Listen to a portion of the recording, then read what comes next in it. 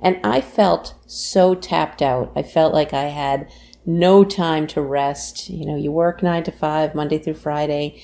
You only have 48 hours. How do you divide that between your kids, your parents, you know, the need to lie on the couch and binge watch television or read a book and just relax, whatever it might be?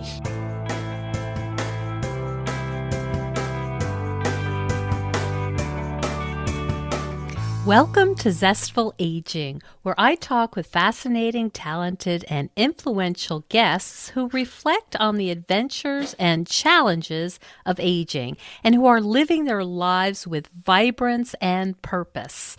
I'm your host, Nicole Christina, psychotherapist, writer, and zestful ager.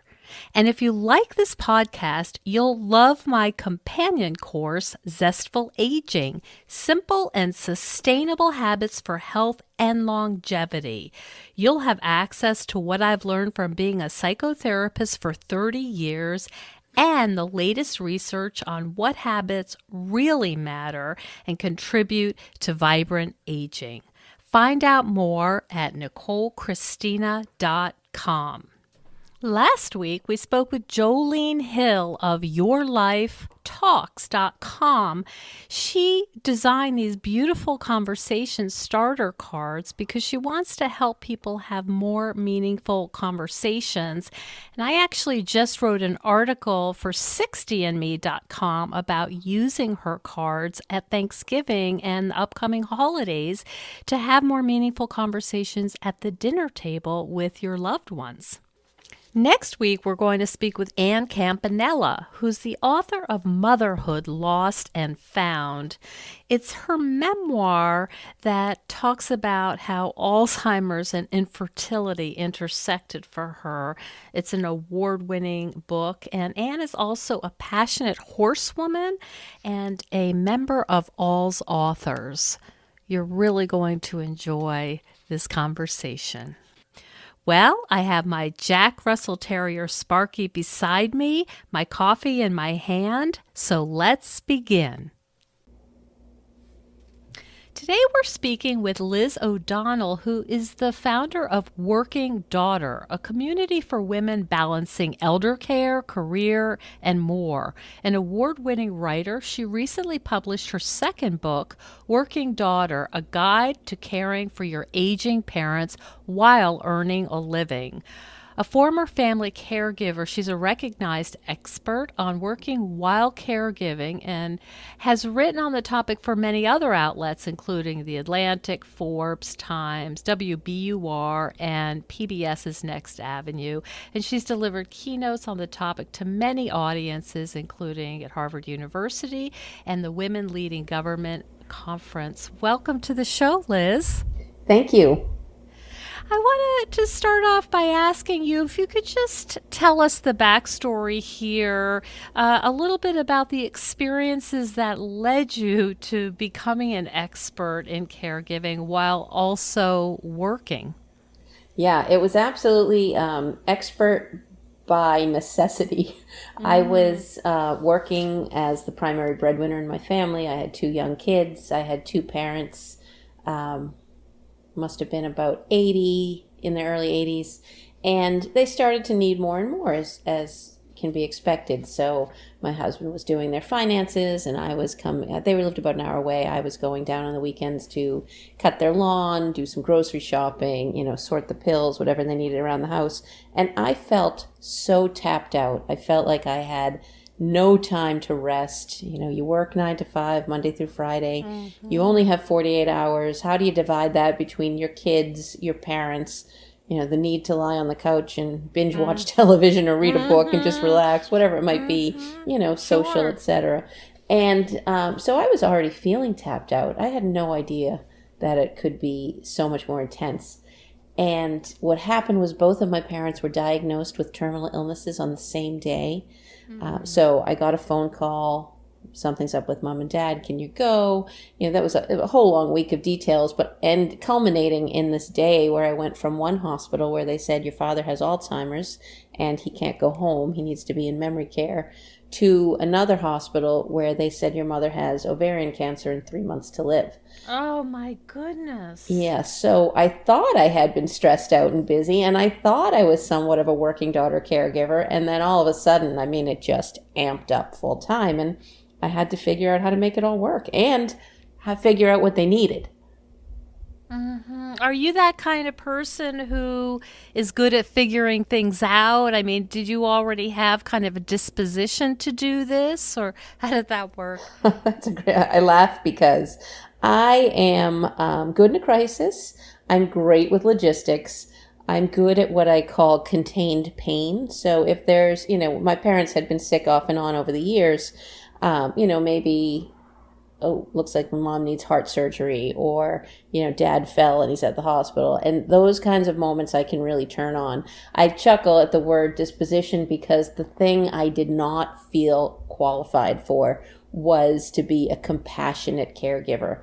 I tend to be more, you know, task focused. Let's get things done. Like I said, logistical, mm. not the warm, fuzzy, how are you feeling? Let's talk about end of life. You know, what do you need? Kind of Existential issues. not so nice. What do yeah. you want for lunch? exactly. Exactly. So I really, um, struggled in the beginning because I already felt, you know, like so, um, strapped to find time to be with my kids and you know as a working mother. And now i'm being pulled into this third direction. And i spent a lot of time like why me? I can't do this. Why is this falling on my shoulders? I'm not even you know best suited for this. Hmm i see. So i'm just imagining um, as a therapist there might have been a lot of mixed feelings there. Oh yeah. I mean and and that's one of the things i see with what I now, you know, have termed working daughters is the guilt is just, you know, through the roof, off the charts, if you will. You, you, hear so much about working mothers having guilt, and I know that it exists. I, however, never took that on. I felt like it would be silly to feel guilty about providing for my family and guilty about putting my family over my job, you know, whenever those times came up you know, have to call in sick to take the kids to the doctor or go see the school play. I just thought, I am doing two really important things here, no guilt. But when you add that third layer, mm-hmm. that and you're trying to decide now between, you know, three needs, maybe more needs. You know, you you might have a spouse who actually wants to talk to you sometimes, or you want to take care of yourself, or you know, you have a passionate volunteer job. Who knows? You know, we have so many things going on. To figure out how to slice things up that way, you're just never sure you're making the right decision. Um, and the other thing I think specifically around elder care, where the emotions can be so fraught, is there's always more to do. I mean, we're just not really set up as a society. Mm-hmm to make the time to take care of our parents. So we're so busy attending to their basic needs, get them to the doctor, make sure the fridge is full, make sure the errands are done. We barely have time to say, Hey, mom, I know you can't get out of the house anymore. Would you like to take Saturday afternoon and go visit your sister who's also housebound? Or, you know, would you like to join a group and I can look for it and, you know, drive you there? You don't have any time for those really important aspects of an adult's life and so you just mm. fraught thinking there's always more to do, but I really need a nap. that's a gr- that's a great tagline. And uh, so, what were the? I, I mean, it sounds like there was a part of you that was very aware. You were, as you say, tapped out. Were there other things that kind of snuck up that that you recognized as I'll call burnout? What are the other things that were happening that you recognized were just signs that you you were stretched too thin? Well, I was really, really grouchy.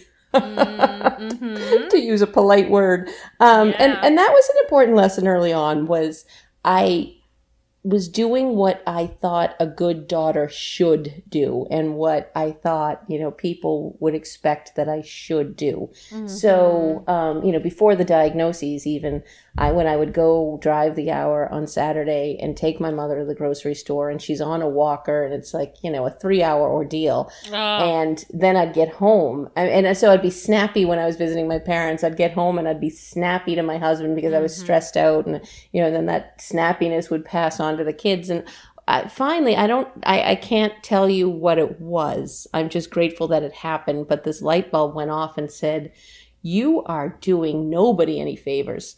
You know, by, by doing what you think you should be doing, nobody wants to be around you, including yourself.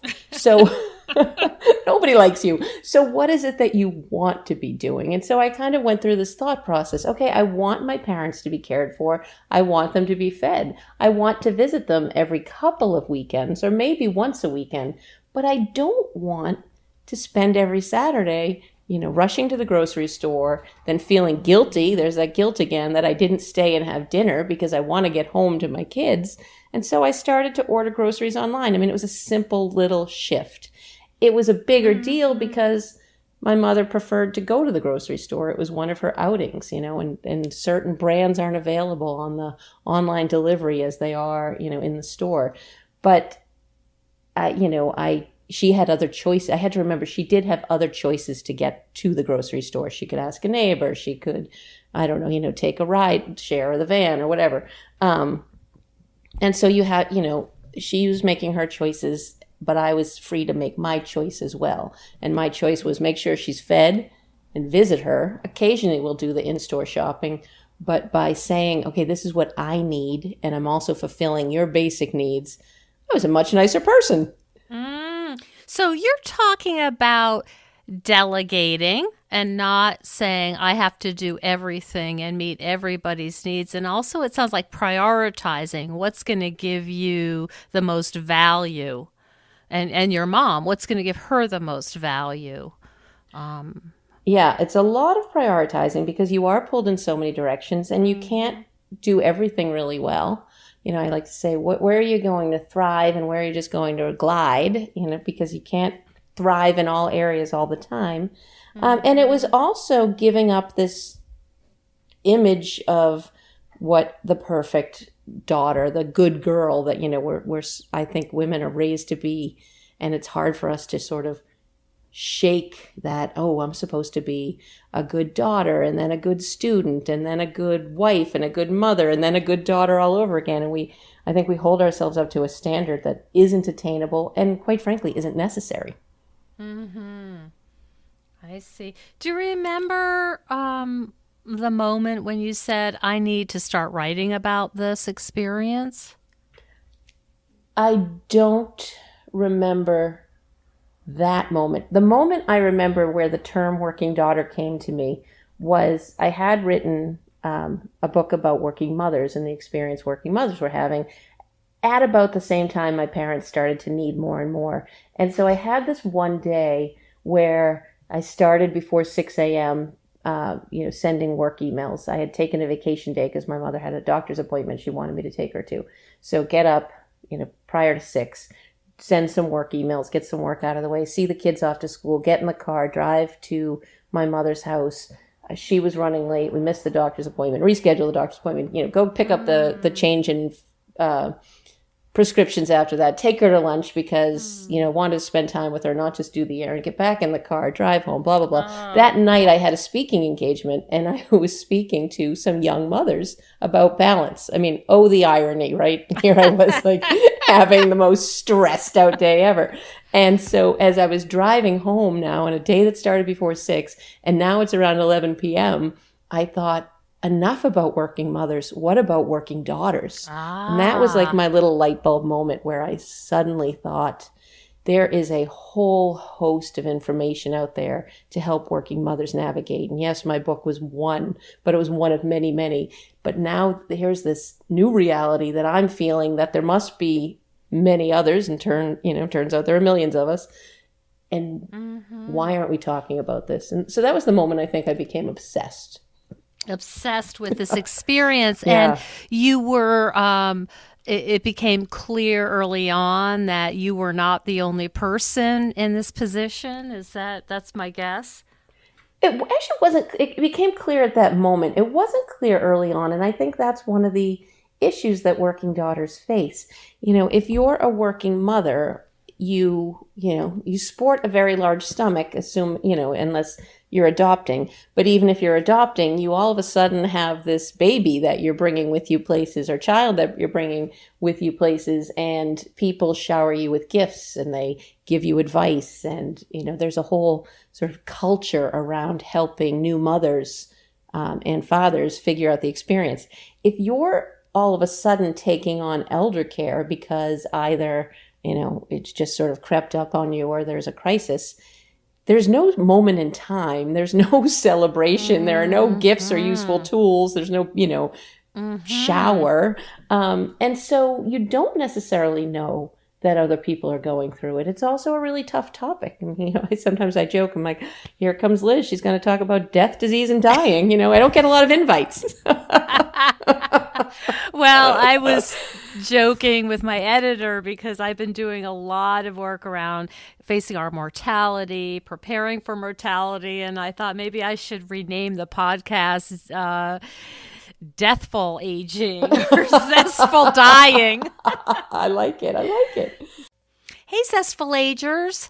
Last year, I attended the International Federation on Aging's global conference in Toronto, and they've announced the 15th Global Conference on Aging for Niagara Falls, Ontario from November 1st through 3rd, 2020. Zestful Aging Podcast is a proud partner for this conference, and I encourage you to all consider attending. The conference features prominent experts presenting and discussing critical issues within the field of aging. So head on over to ifa2020.org to learn more, and I hope to see you in Niagara Falls in November. So, yeah, so tell me a little bit about it's actually not only a book, but you have a bona fide community for women. Could you tell us about that? Sure. So, early on, as I became obsessed with this topic, I have a friend who's an entrepreneur in, in the media world, and she said, You've got to start a Facebook group. Mm. And I thought, Oh, I don't have time for Facebook right now. Um, but I listened to her, and I'm glad I did. Um, and in the beginning, you know, there were just a couple of hundred women. At first, uh, you know, I forced a few friends to come in.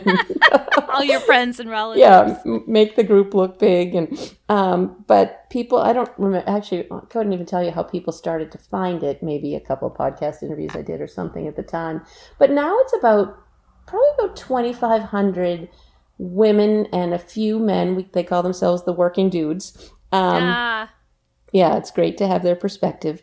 And it's a place where uh, people come every day. The engagement, the activity level is really high. It's a place where people come to not be alone, to say the things that um, are difficult to say in polite company. I talk about this concept that uh, caregivers understand that we can hold two opposing truths at the same time. Like we can mm-hmm. say, I know on one level that being able to care for my parents in their most vulnerable moments is a gift at the same time i can i can also you know hold this truth. I can't take it anymore. This is really mm-hmm. hard you know just or, brings you to your knees. Yeah yeah. So the community has been um, you know I, I get wonderful feedback that it's been a real lifesaver for some women to find a place where they can go and talk. And quite frankly it's been a real um, uplifter for me as well to um, you know, be a part of this community and and see uh, the way the other women support each other. It's really wonderful. Mm-hmm. And uh, so you've been writing articles and you've been talking about some of the real lapses I think in our in our culture about that this is not recognized enough and that if I'm not mistaken you talked also about that um, we're saving as as caretakers um, insurance companies, perhaps, a lot of money that something's not right here, that this is really falling on the backs of the kids and it has great costs. Great costs, and it's only going to get more intense. So we're at a point, at least in the United States, where 10,000 people are turning 65 every day, you know, because we've got that baby boomer generation that's aging. And we are facing some other issues um, in our society that make caregiving become family caregiving more intense. So we have more dispersed families. You know, not everybody lives in the same community on the same block in the same town, even in the same state anymore. Mm-hmm. Uh, you might mm-hmm. have, you know, children in California and children in London and someone in Massachusetts. Who knows? We're having fewer children, so the work of care, family care, is falling to fewer people. Um, and immigration laws, quite frankly, are affecting, right. um, you know, the professional caregivers. So we're facing a shortage of professional caregivers in the coming years. Immigration laws, and also the fact that I don't mean to go off on a tangent, but um, paid professional caregivers don't always receive the same workplace benefits as you know maybe a white collar worker or um, a, a, medical professional and so it's not the most attractive career to go into so so we're seeing even more intensity around the issue. And I, of course, now I forgot where I started on this, what your exact question was. But yeah, no, that you're really talking about not just the difficulty of being a caretaker, but some of the uh, socioeconomic uh, issues, um, some fairness issues, some political issues about why this is so complex and so important for us to start paying attention to. Right. And so, therefore, as more and more responsibility falls onto these family members, and I focus on women because that's just always been the audience that I wrote for. But actually, the, at least again in the United States, the split, the gender split of family caregivers is 60% women, 40% men. Mm-hmm. So it's not all women doing it. It's, the majority is still women, but um, there are a lot of men that are also doing this. And it is very difficult to uh, balance career and care. And so what you see, especially among the women, is they may cut back their hours or shift to a a lesser responsibility role at work or quit altogether and then that's impacting their earning and mm-hmm. savings potential you know retirement and all of those benefits to the tune of $300000 and mm-hmm. yet who's going to pay for their long life and retirement we're living longer you know medicine is keeping us alive mm-hmm. with chronic illnesses for much longer time uh, our medical needs our retirement needs our housing needs are all going to be very expensive so yeah we're um we're doing a lot of work for a lot of other people, whether it be our legislators, our insurance companies, mm-hmm. our medical professionals. I see.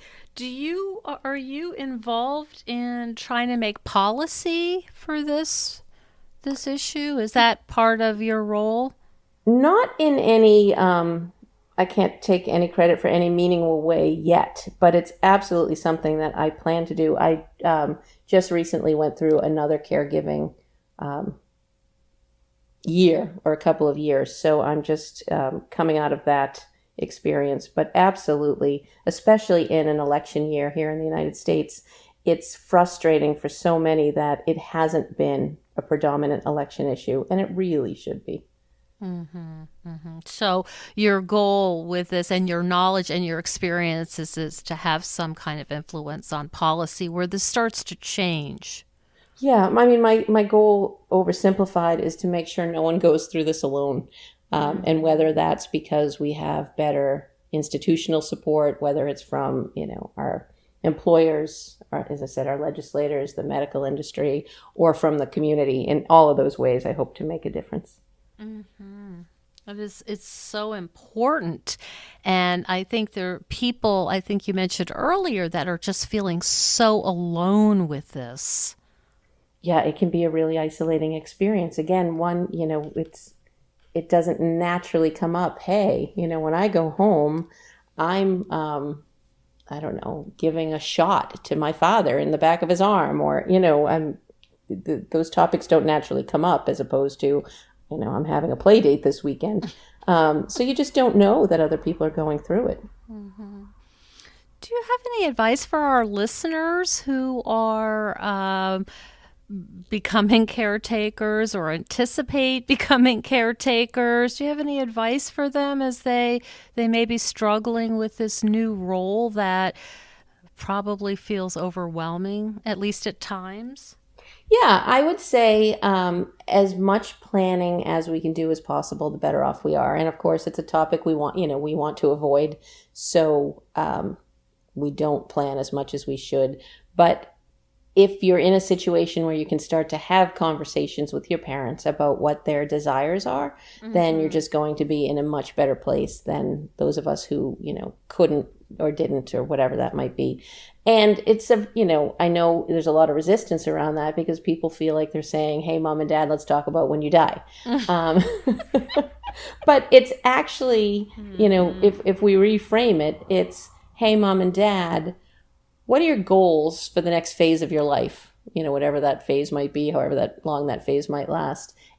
And and in listening to our parents say, my goal is to spend more time with my grandchildren, to be as healthy as possible, to, you know, make sure I never leave my home, whatever it might be, then we can start to say, okay, so, how do we plan for that? You want to live at home, and yet, you know, you can no longer navigate the stairs or you can't afford the repairs anymore. So, what do you think we and it's it's much more of a problem solving, almost mm. negotiation mm. style conversation. Mm. And it's very mm. difficult to do because it's charged with emotion. But if we can get to those places pre-crisis, mm. it's such a gift. You know, my mother um, one Thanksgiving I remember said, I want to talk about uh, my funeral planning. And this was well before I even felt like a caregiver, you know, and I was like, really, mom?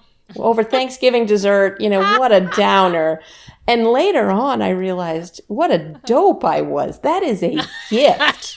You know? that was a great opening. It's so funny you gave that example because one of my guests said that's the perfect time to do it at Thanksgiving. Everyone's around the uh-huh. table and you and that's the time to say, "Listen, this may seem weird, but we have to no, we have to be aware of what uh, people's end of life wishes are. We yeah, need that information. Yeah. I understand that now, and I understand what a dope I was for you know wanting to shut the conversation down. But you know, uh-huh. hindsight is twenty twenty. It is such a gift, and I remember once my parents ended up in the same facility, but my mom was upstairs in the assisted living, and my dad was downstairs in the memory care unit. I had been upstairs visiting my mother. I came downstairs. I ran into my aunt, my father's sister and she she was going to visit my dad. And she said, "Oh, what are you doing?" I said, "Oh, I was just upstairs with my mother. and We're going through um, all of her funeral arrangements." And she said, "Oh." You know, and she looked. My cousin was there, and she looked and said, "Don't you ever bring that up to me." And I've oh. I've since brought that conversation up to them. They said, "Oh no, we've talked." You know.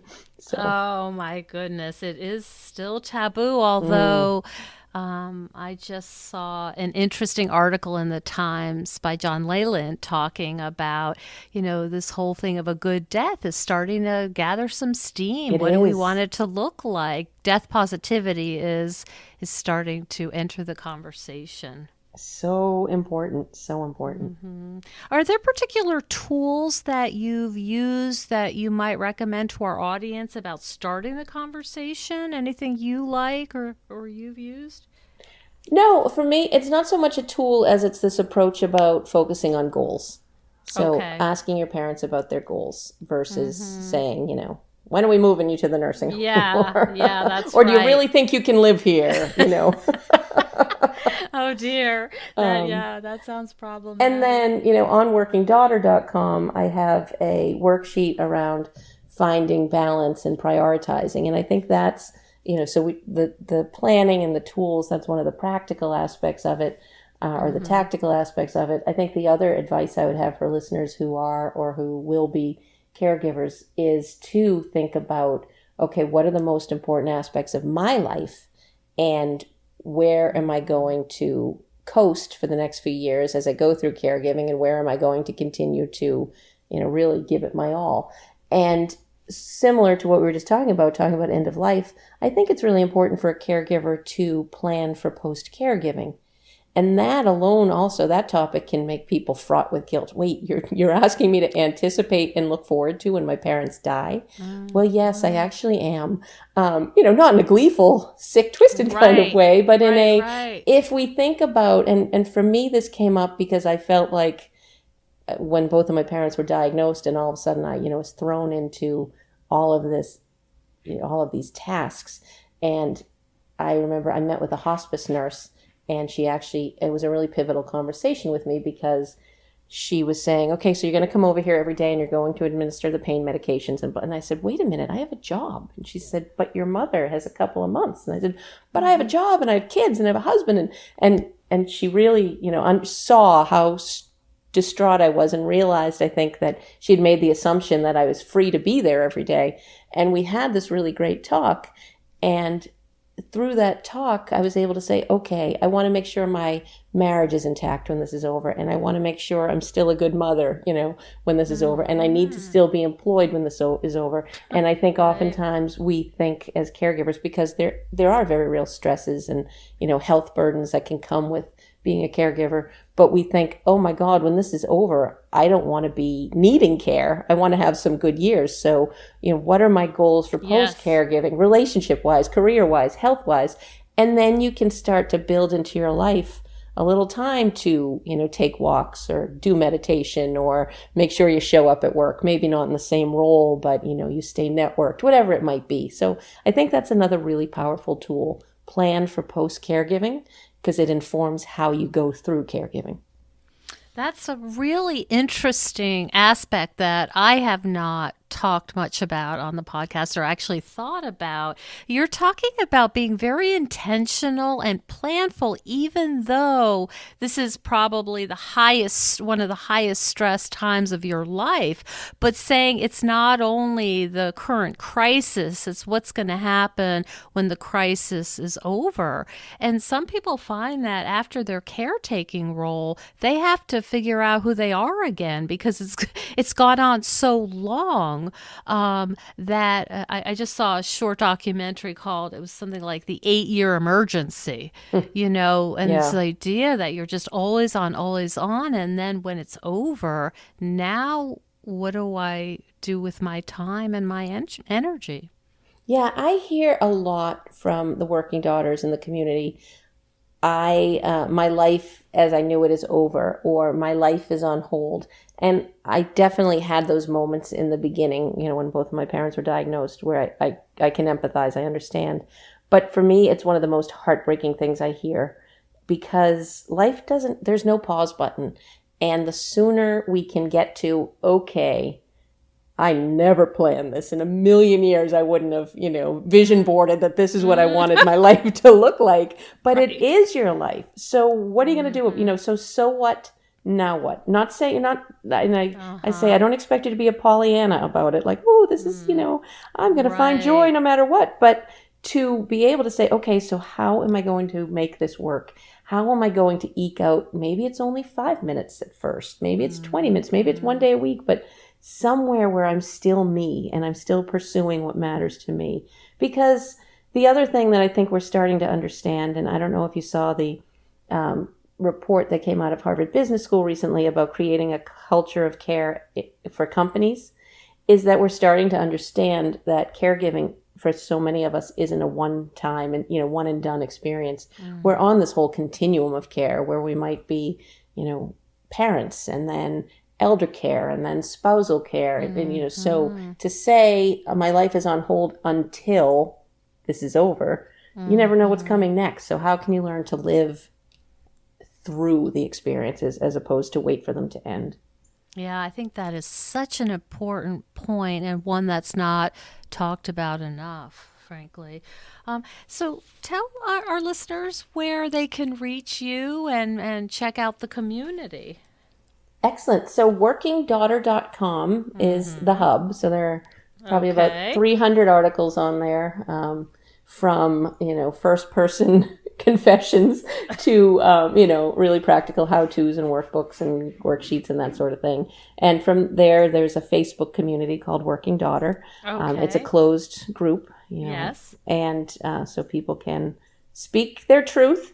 And then the book that uh, just came out is on Amazon. Okay, that's great. And it's Liz O'Donnell. Thank you so much for talking about your experience, your expertise, and bringing this additional piece about, you know, how do I uh, maintain some semblance of life while I'm doing this very important thing that's often fraught. Uh, talk about mixed feelings. Well, thank you for the interest. I appreciate it. Thank you so much for joining us on Zestful Aging. If you like the podcast, please share it with some of your friends. I love to hear from my listeners. Send me an email at nicolechristina.com.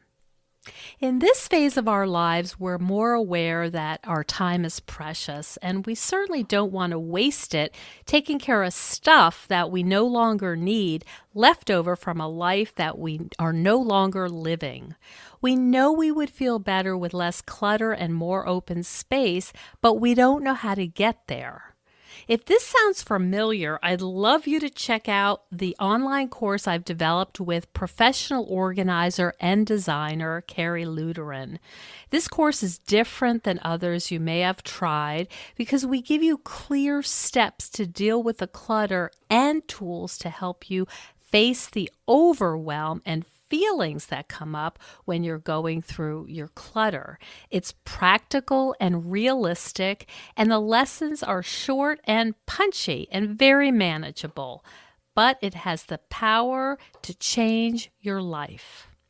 We all deserve to live in a peaceful home without the chaos of too much stuff. Find out more at NicoleChristina.com. Next week, we're going to speak with Ann Campanella, who's the author of Motherhood Lost and Found. It's her memoir that talks about how Alzheimer's and infertility intersected for her. It's an award winning book, and Ann is also a passionate horsewoman and a member of AlzAuthors. You're really going to enjoy this conversation. See you then.